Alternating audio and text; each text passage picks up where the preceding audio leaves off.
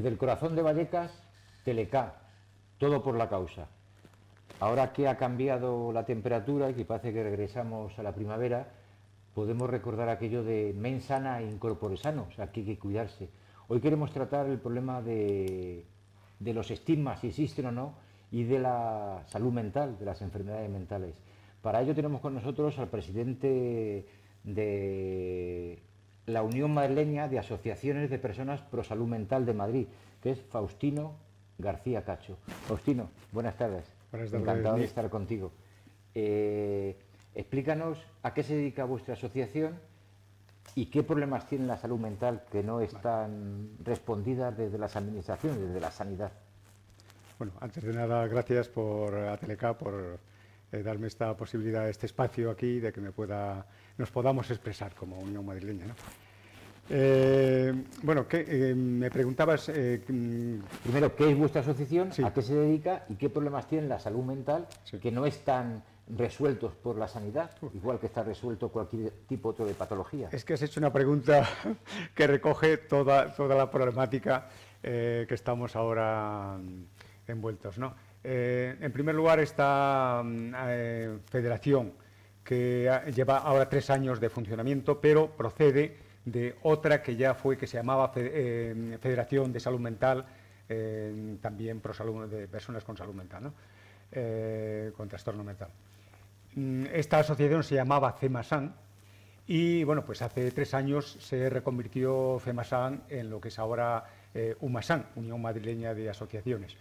El, el objetivo es que eh, de toda esta federación y de todas las asociaciones que engloba, ahora mismo 18 asociaciones que engloba la federación, eh, surge como consecuencia la- por la necesidad que tuvimos en un momento dado, eh, años atrás, ya veintitantos años, de que las familias pudieran, ante el problema de la enfermedad mental o del trastorno mental, pudieran hacer frente unidos, es decir, en esa autoayuda pudiéramos hacer frente a, las, a lo que pretendíamos que nos hiciera caso la Administración después de la desinstitucionalización psiquiátrica que se hizo en el 86. ¿Abandonar los manicomios? Eh, abandonó- se abandonó los manicomios en ese momento y ¿qué pasó? Eh, que se pasó a las eh, familias realmente toda una gran parte, bueno, una gran parte, la mayor parte de la responsabilidad, porque en las casas era donde había que pasar el día a día ayudando al familiar. Eh, en la mayor parte, pues lógicamente eran padres, eh, en otros casos también hay hermanos, eh, hay incluso puede darse casos también de amigos, ¿no? Esto hizo que eh, los familiares pues, se unieran y, lógicamente, se formaron unos espacios en estas asociaciones que, he dicho, en estas 18 asociaciones que cogen toda la Comunidad de Madrid, eh, se formaron espacios donde eh, realmente ahí se podían hacer toda una serie de actividades eh, mm, eh, terapéuticas, rehabilitadoras también dentro de las asociaciones. Y a la Si me vez... permite- Si me permites un momento, es, ¿cuáles son los problemas que tienen hoy las personas o las familias con eh, problemas de salud mental? ¿Cuáles son las problemáticas mayores? Sí, las problemáticas mayores, eh, podríamos decir que una parte de ellas es los derechos eh, que ahora mismo, bueno, pues mm, estamos luchando para que se reconozca a las personas con trastorno mental como unas personas más.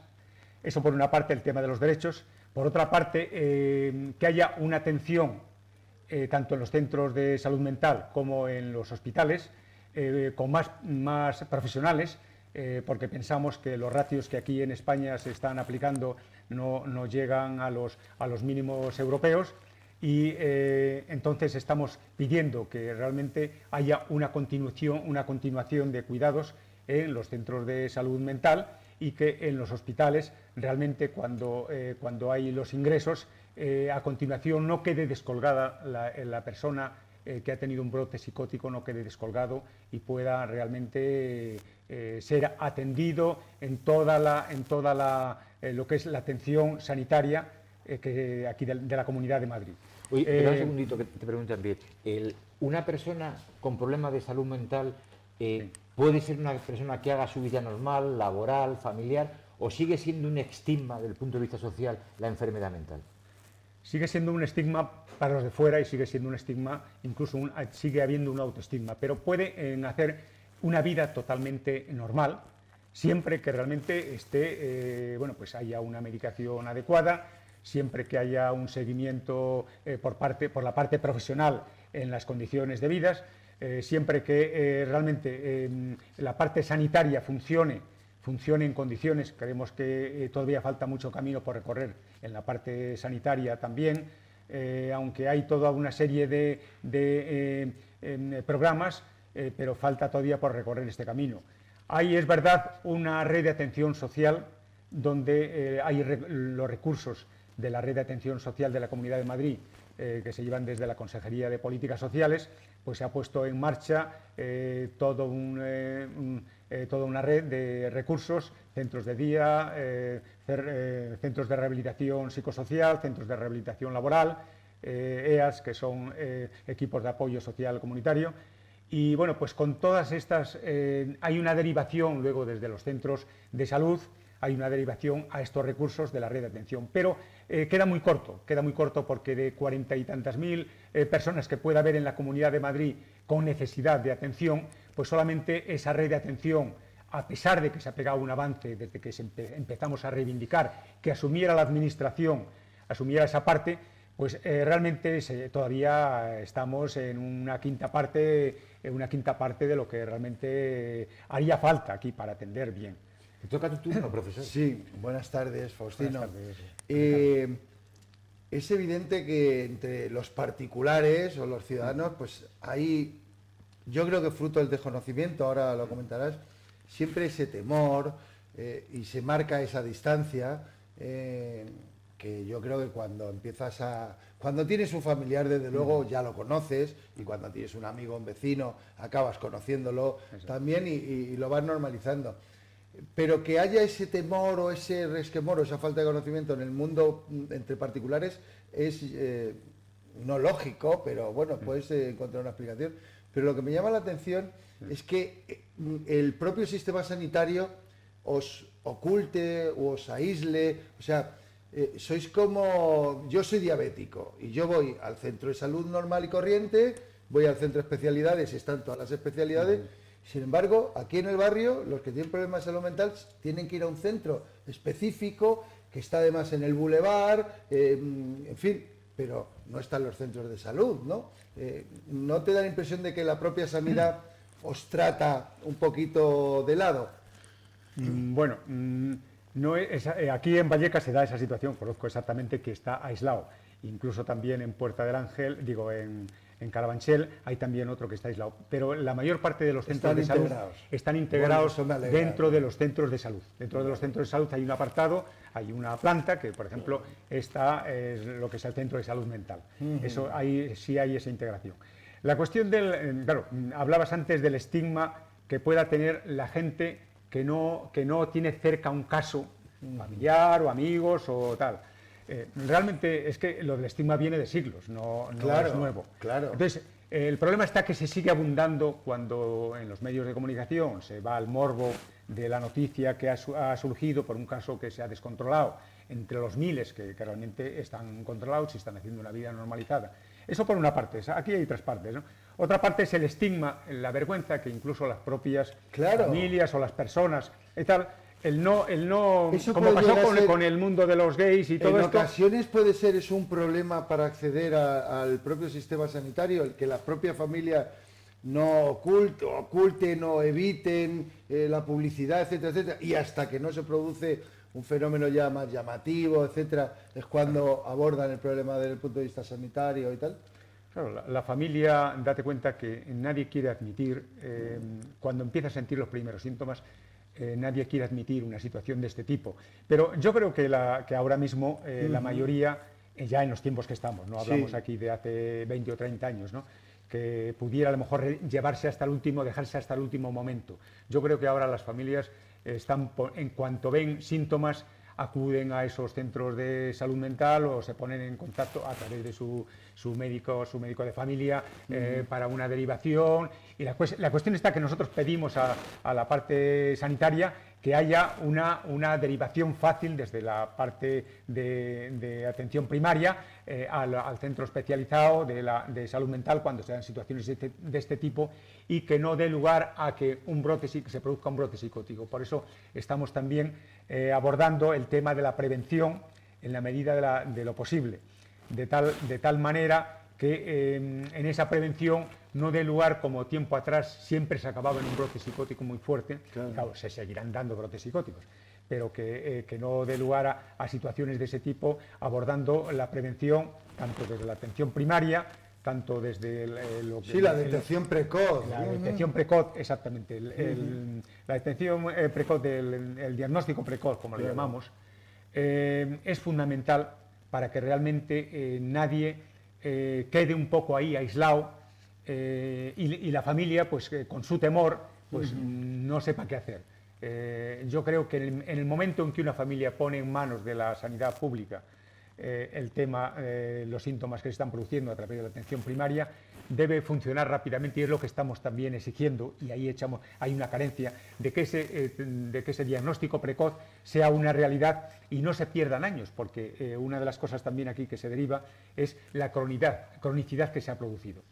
Eh, nosotros hemos detectado, por, por, la casuística y por toda la estadística que tenemos, de que se, había, se perdían 10 años que eran años claves. ¿no? Claro. Hay, hay toda una población con trastorno mental que realmente eh, eh, ahora es atenderles en que lleven la, vida lo mejor posible, pero se cronificaron eh, gracias a que los mecanismos de la propia administración de la sanidad pública no, no, funcionaron con la rapidez necesaria, con la agilidad necesaria, y ahí se perdieron unos años claves para que realmente, se Para tratar a la gente. Para tratar a la gente inmediatamente. Ahora la gente joven, tú ves a una persona ahora con cuarenta y tantos años ya cronificada y, ya eh, su aspecto ya eh, denota algo, denota algo. Sin embargo, ves a gente joven y tú no aprecias para nada, no, aprecias para nada. Si inmediatamente se, se atiende, se hace el diagnóstico, se hace el diagnóstico precoz, se atiende en condiciones, hay una continuidad de cuidados en condiciones Em, pues realmente eh, pueden hacer una vida, como la pregunta que hacías antes, pueden hacer una vida totalmente normalizada. Eh, Faustino, yo quería tratar otro tema que es el tema del estigma y cómo luchamos contra ellos. Una forma de luchar contra el estigma es normalizando las actividades de estas personas en la sociedad. Y parece que vosotros eh, en esta línea, por segundo año, estáis convocando unos premios eh, de concurso de literatura y un concurso de pintura pincelada de Van Gogh. Explícanos primero cómo se ha organizado esto y este año en qué va a consistir ese tipo de jornadas o de actividades donde los que participan son personas con problemas mentales, ¿no? Antes de, antes de hacerlo voy a hacer una, una precisión de que eh, Umasan está en la mesa contra el estigma que se, se constituyó hace ya tres años eh, aquí en la Comunidad de Madrid, donde participa, pues, por una parte UMASAN, por otra parte la Fundación Manantial y por otra parte las consejerías, tanto de políticas sociales como de la Oficina Regional de, Salud Mental. ¿no? Eh, entonces, bueno, quería dar esta pincelada un poco eh, porque em, aglutina un poquito luego todas las acciones que hacemos y que se hacen en todo el colectivo y en todas, en todas las, a través de la red de atención social también, de todas nuestras asociaciones, pues eh, constan mm, enmarcadas también dentro de lo que es la mesa contra el estigma, donde ponemos todas estas partes que digo que constituyen la mesa contra el estigma, ponen las, las actividades que, van a poner en marcha. Y en concreto, Umasan, el año pasado eh, ya pusimos en marcha eh, los premios Umasan, que le llamamos 2016, que, que, constan de un concurso de pintura, un certamen de pintura que le llamamos Pinceladas de Van Gogh, con el nombre muy, muy propio en el entorno mental. Y eh, Ponte en mi lugar, tomándolo de la Confederación Salud Mental España, que había sacado este lema, Ponte en mi lugar, eh, nosotros retomamos precisamente este lema, Ponte en mi lugar, y, de ahí hicimos el, concurso de literatura, concurso de relatos.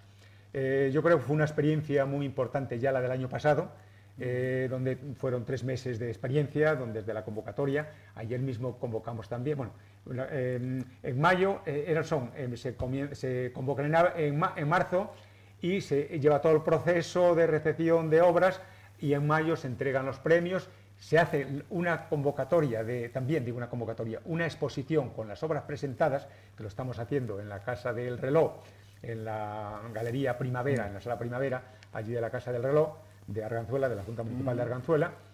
Y eh, bueno, pues mm, ya sobre las obras expuestas, incluso fue, el año pasado fue muy interesante porque uno, un centro de rehabilitación laboral de Aranjuez eh, nos hizo un montaje muy sui generis, muy, muy original, donde personas con trastorno mental hicieron el propio montaje de la exposición.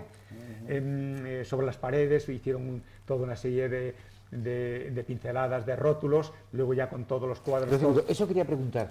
¿Qué pinta una persona con trastorno mental o de qué escribe una persona con salud mental? ¿Es de lo mismo que podemos escribir tú y yo o ellos focalizan mucho su problemática para trasladarla al arte de la pintura, de la escritura, de la creatividad? Muy buena pregunta. Eh, yo creo, eh, claro, sin querer, eh, sin querer o queriendo, se está en ese tema, ellos están en ese tema, y también es que nosotros abundamos un poco en decir que sea contra el estigma, ¿no? porque el concurso, los concursos, los premios Humasan, es un poco la lucha contra el estigma, y claro, todos abundan en la problemática que están pasando en distintas experiencias, cuando hacen los relatos, en distintas experiencias que han tenido, cómo han, cómo es una forma de sacárselas de encima, de, eso es. de exorcizarlas, ¿no? De, De, racionalizarlas también. Mm, yo estoy convencido, precisamente, es que estamos convencidos que, el arte, que tanto la literatura como la pintura, como cualquier tipo de arte, eh, es terapéutico y en esa eh, es sacar, como tú estás diciendo, es sacar un poco lo que eh, esa parte que te está ahí marcando, eh, expresándote, expresándolo, se libera. Yo conozco a la gente cuando, por ejemplo, en Radio Nicosia, Raúl, este Raúl que llevaba allí también Raúl Velasco, pues él me decía, yo después de escribir cuatro libros me he sacado tanto la espina que llevaba dentro que es que me encuentro eufórico y, Mal y auto,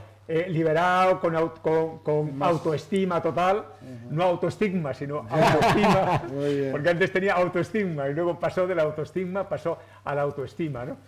Y claro, eso eh, nosotros creemos firmemente en esas cuestiones. ¿no? Eh, entonces, por eso este año también vamos ¿En qué van a consistir? ¿Una jornada de dos días, tres días? ¿Cuál va a ser el programa de actividades y dónde se va a hacer? Bien, pues este año de nuevo, ayer hemos convocado los premios, eh, a la prensa lo daremos en estos días, vendrá, os mandaremos también aquí a vosotros. Eh, aquí está la convocatoria que se ha colgado. De momento hemos pasado a todas nuestras asociaciones y a, los y a los eh, y a toda la red de atención social de la Comunidad de Madrid. como decía antes, a todos los recursos de la red de atención social, Ahí colabora con nosotros eh, eh, ahí precisamente la Consejería de Políticas Sociales en trasladar toda esta información también para que participen toda la gente. Eh, aquí pueden participar gente de asociaciones, bien en grupo, bien en individual o, o, personas. Este año lo hemos abierto a que incluso personas que no están en el mundo asociativo, ni siquiera en los recursos de la red, pero que son personas que están, eh, bueno, pues tienen problema mental, pues que puedan también participar. Lo, hemos hecho con toda esa amplitud. Eh, ¿En qué, cómo, va, cómo va a ser todo esto? Bueno, pues ahora, como decía, va a haber un periodo hasta el mes de, hasta finales de abril, donde se reciben las obras, se catalogan las obras en la federación, eh, tanto de pintura como de, relatos, y luego ya en mayo hacemos una exposición que dura desde el 9 de mayo hasta el 22 de, hasta el 22 de mayo y justo el 19 de mayo eh, hacemos los, eh, la entrega de premios allí mismo eh, dentro, sabéis que la galería, no sé si habéis visto la sala de primavera de la, que tiene la galería alrededor del salón de actos allí de la Casa del Reloj, pues tiene, tiene bueno, pues allí para exponer y dentro pues entregaremos los premios, pero yo creo que, que la ambientación que de antemano ya eh, la gente que pasa por allí por la, exposición. Eh, y después hay una cuestión también que quiero resaltar. El año pasado tuvimos la suerte de que el mismo día de la entrega de premios se eh, entregó el libro que habíamos editado con todas las obras que se presentaron, porque eh, se, presentaron, algunos participaron con poemas en lugar de con relatos, y dimos todo adentro. Y, se, editaron todos, se hizo un libro expresamente, que colaboró ahí el Grupo 5 eh, con nosotros en el, en el eh, montaje de, ese libro, hablamos con ellos precisamente para que lo hiciera.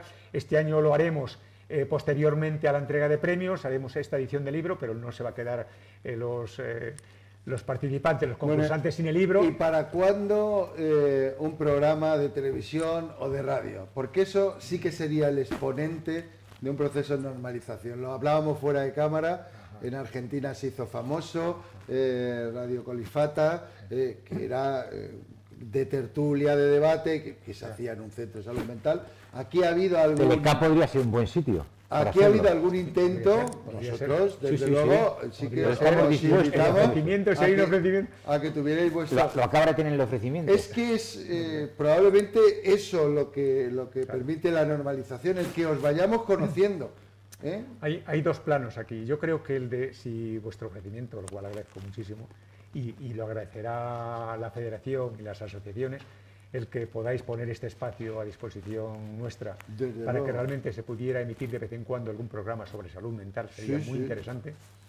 Eh, y luego hay otro plano, es este, este podríamos hacer un plano a nivel comunitario. Sobre, la salud mental, sino queremos conoceros a vosotros. Eso es. no queremos una clase de psiquiatría. No, queremos que vengáis a hablarnos de vuestras enfermedades. Queremos ver cómo sois y ver que con la diversidad, con los problemas, etcétera, etcétera, personas con las que se puede convivir y que no hay ningún problema. Eso, ver otra perspectiva del mundo. Exacto, Pues yo soy diabético y no lo he dicho nunca aquí. quiero decir que, que, vengo aquí en otra condición y lo ideal es eso. Yo estoy plenamente convencido que si tuviéramos algún programa de televisión a nivel nacional eh, donde se emitieran programas eh, informativos, donde, las personas, en primera persona, las personas que tienen el problema mental, se les viera cómo hablan, qué hacen, qué vida hacen, hablan de sus cosas. Yo estoy convencido que mucha de la gente, todo ese estigma que viene de siglos, iría desapareciendo. Pero claro, eh, nosotros ahora mismo, desde la Comunidad de Madrid, desde UMASAN, hemos elevado a la Confederación Salud Mental España un proyecto que ha hecho nuestro equipo de comunicación, eh, precisamente para un programa de televisión a nivel nacional en la, en la cadena pública. En la 2, al menos. claro, es que ahí están los toros, están las misas, están los y no eh, va a haber un programa de. Yo creo que mejor en Teleca. bueno, en Teleca también, claro. por eso vamos, está abierto. Vamos a distinguir dos planos. El nacional, si hacemos un programa a nivel nacional, no cabe duda que, por ejemplo, y, en, la 2 podría ser un buen espacio para poder llevar a cabo una cosa de ese tipo. Yo creo que es posible y yo creo que, que, el Consejo de Radio y Televisión Española debiera de retomar el tema y ahí sí, sí también nos podéis ayudar y tal. Pero eh, después hay otro que es el espacio autonómico y aquí sí no, esa difusión nacional, porque ya con internet no hay canales bueno, tampoco, tampoco hay límites, tampoco hay barreras, claro. en, ese, en, ese, aspecto también, ¿no? Pero que ahí podíamos tener más juego nosotros, porque nosotros este proyecto lo hemos puesto en manos de la Confederación, dado que vemos que trasciende eh, nuestra capacidad a nivel comunitario, a nivel de la Comunidad de Madrid. Eh, aquí podríamos ver eh, Telemadrid, pero Telemadrid, bueno, pues es Telemadrid, y, y, aquí Teleca, yo creo que si se puede llevar a cabo, pues sería una, una, muy bien poder hacer esto. Porque sigo diciendo, yo estoy plenamente convencido que en el momento que la gente en canales que puedan, eh, que puedan ver a la gente cómo funciona, cómo es, y ver sus caras, como tú dices, eh, se quitan todos los con Sus particularidades, que, no, no, esperemos que la gente sea siempre igual que nosotros, con sus particularidades. Nino no va a salir corriendo de aquí nunca, por mucho, pero mira, nos llevamos bien. Claro. bueno, Faustino, pues eh, el tiempo se va agotando. Yo solo deseo que llegue el día en que nos encontremos eh, un diabético y una persona con trastorno mental y digamos, hola, soy Ricardo, soy diabético, hola, soy Faustino, con un trastorno mental y digamos, pues venga, a ver qué nos dice el médico. Y así, con toda la tranquilidad. Exacto, con toda la tranquilidad del mundo, pero que incluso yo creo que es que ni siquiera tiene que ir por delante la etiqueta. Hay, hay una... una si nos hablamos mucho del empoderamiento y ahora mismo estamos, hay mucha, eh, estamos eh, favoreciendo el empoderamiento de las personas con trastorno mental. Y, bueno, pues lo principal es que son personas eh, que, que no tienen que llevar etiqueta de ningún tipo, Exactamente. Aunque, aunque es verdad que hoy aquí estamos poniendo etiqueta y estamos hablando y sin querer siempre se va a hablar y las personas que tienen... No, pero es un colectivo que pero se vea, se como, lo primero como personas eh, sin, sin etiqueta de ningún tipo, porque nadie va diciendo, oye, eso como tú dices, Ricardo, eh, yo soy diabético o yo tengo un problema de riñón o yo tengo un problema de este tipo o del otro, ¿no? Sino que soy una persona que hago esto, aquello y lo demás, y lo demás allá. Pues y eso, nada. eso es lo importante. Vamos a ir cerrando y... eh, Solo, la- quiero, la- solo sí. quiero una cuestión de las actividades que preguntaba antes, que vamos a hacer un encuentro de escritores y que hemos invitado a Nino, precisamente, eh, escritores en primera persona, eh, los que han publicado libros, personas que han publicado libros, eh, y van a estar precisamente llevando el encuentro este de escritores allí en el, en el CAUM, en el Club de Amigos de la UNESCO, el día 28 de abril. Vamos a tener ese encuentro de escritores y creo que va a ser una- también una experiencia interesante que vamos a llevar a cabo. Pues muchas gracias. Pues nada, quedan emplazados y nos vemos el próximo día con un tema, esperemos, tan interesante como el que hemos tenido hoy. Muchas gracias, Faustino. Gracias a vosotros, Ricardo y Nino.